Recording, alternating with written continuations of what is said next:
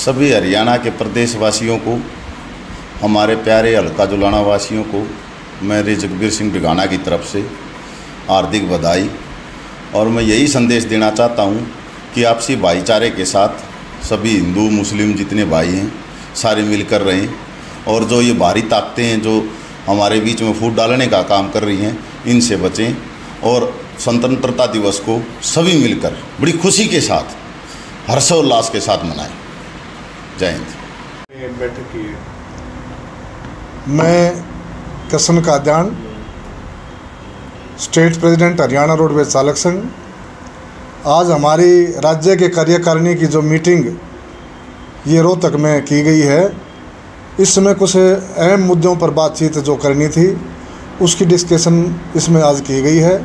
नमस्कार मैं doctor Kamini Ashri education consultant CEO from the career providers मेरी ओर से आप सभी लोगों को, देश व प्रदेशवासियों को इंडिपेंडेंस दिवस यानी कि स्वतंत्रता दिवस की 15 अगस्त पर आप सभी लोगों को स्वतंत्रता दिवस की हार्दिक शुभकामनाएँ। आज़ादी हमें मिली, लेकिन हमें आज़ादी असल मायने में तब मिलेगी जब हम विचारों से भी स्वतंत्र होंगे। जी हाँ। हमें जात पात का भेदभाव मिटाना चाहिए आपसी भाईचारे के साथ इस स्वतंत्रता दिवस को मनाना चाहिए। जैसे चालकों के बारे में कई बार सरकार से बातचीत हुई और उसमें कई अहम हमारे मुद्दे थे चालकों के पे ग्रेड के बारे में चालकों के स्टैंड इंचार्ज लगाने बारे में। मैं doctor Surendra Chaudhary metro Jain hospital की तरफ़ से स्वतंत्रवें स्वतंत्रता दिवस की हार्दिक शुभकामनाएँ देता हूँ। आप सब स्वस्थ रहें दीर्घायु रहे। ये हमारी मनोकामना है। जय हिंद जय भारत। स्टैंड इंचार्ज की लगभग पोस्ट सरकार से बातचीत हुई है लगभग पूरी हो चुकी है और जल्दी इस महीने में उन्होंने सरकार ने आश्वासन दिया है इसमें पूरी हो जाएगी। मैं सर्वकर्मचारी सिंह, हरियाणा जिला जींद प्रधान श्री संजीव ढांडा। इस स्वतंत्रता दिवस के ऊपर सभी जींदवासियों को, प्रदेश के वासियों को, व पूरी भारतीय जनता को स्वतंत्रता दिवस की हार्दिक शुभकामनाएँ। आशा करते हैं कि इस पर्व के ऊपर सभी हिंदू, मुसलमान, सिख, ईसाई मिलकर इस पर्व को मनाए और स्वतंत्रता दिवस के ऊपर एक भाईचारे का संदेश देने का कार्य करे, ऐसी आशा करता है सर्व कर्मचारी संघ जिला जींद। लेकिन इसके साथ साथ कुछ हमारे 2002 के जो चालक साथी हैं, वो पूरी भर्ती क्रिया पूरी करते हुए इस महकमे में लगे थे। उसके बाद इसी तरीके से 2003 वाले भी लगे थे। हल्का जुलाना से कांग्रेस पार्टी की तरफ़ से स्वतंत्रता दिवस की और रक्षाबंधन की और तेज की छत्तीस बरादरी को तरफ़ से ढेर सारी शुभकामनाएँ। मैं आशा करता हूँ कि सभी धर्म के लोग सभी जाति के लोग इसको अपने खुशी से हर्षोल्लास से बनाएँ और अपनी कांग्रेस पार्टी को मज़बूत करें। धन्यवाद।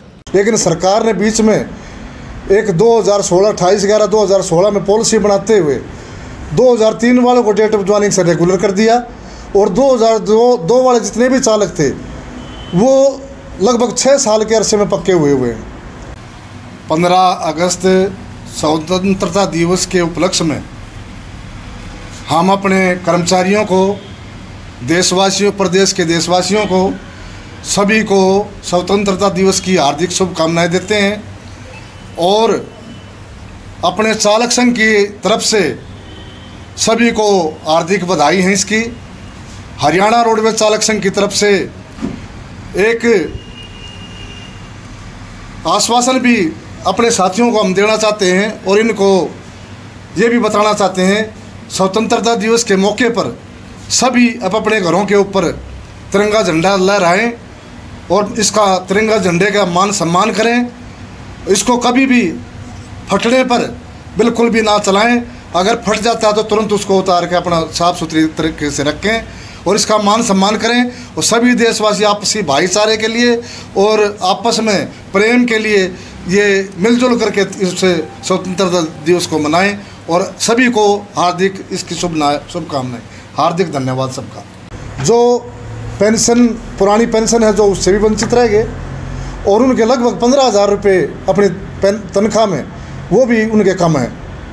तो हमारा सरकार को कहना है बार बार लेकिन 2002 वाले जितने भी चालक हैं वो 2003 वाले चालकों की बात थी डेट ऑफ़ ज्वाइनिंग से इनको रेगुलर करके और इनका ये डिस्प्यूट जो हमारा चालक संघ का ये ख़त्म किया जाए और हमारे इस मांग को माना जाए। इसके साथ ही 2016 वाले जो चालक हैं सरकार उस पर भी बार बार जो हमने विनती की है, उस पर रुकी है, बसें भी आई हैं। सरकार का आश्वासन था अगर नई बसें आएँगी, कोई न कोई रूपरेखा तैयार करके, नई पॉलिसी बना करके 2016 वाले चालकों को हम पक्का करेंगे। तो आज वो दिन आ गया है, गाड़ियाँ भी अपने पास आ रही हैं, और सरकार ने भी कुछ न कुछ इसके ऊपर विचार विमर्श किया एक बिल पास किया है सरकार ने अब जितने कच्चे कर्मचारी हैं, आउटसोर्सिंग पॉलिसी सेकंड के, जितने भी मतलब कर्मचारी हरियाणा में लगे हुए हैं। इनको पक्के करने का काम जल्द ही पूरा होने वाला है और उसमें हमारे 2016 वाले भी चालक जो पक्का होंगे, ज़रूर होंगे। हम इस मांग के पीछे सरकार से बिल्कुल पूरी रूप से मतलब बहस करते रहेंगे और लगे रहेंगे। जब तक इनकी मांग नहीं निकल जाती, हम पीछा छोड़ने वाले नहीं हैं। इसी तरह का विज्ञापन भी हम इस तरह का हमने पहले ज्ञापन भी सौंपा है और जल्दी ही हम एक पीएसटी साहब से मीटिंग करेंगे। अभी हम समय लेकर के पहले बातचीत करेंगे और उसके अगर बात सरकार नहीं मानती तो फिर उसके हम खिलाफ चाहे हड़ताल भी अगर देनी पड़ी तो वो हम काल करने में हिचकिचाएँगे नहीं। ये कौन सी यूनियन की बैठक है ये हरियाणा रोडवेज़ चालक संघ रजिस्टर्ड नंबर दो हज़ार सतासी। मेरा नाम किशन काद्यान है। मैं पूर्व प्रधान हूँ।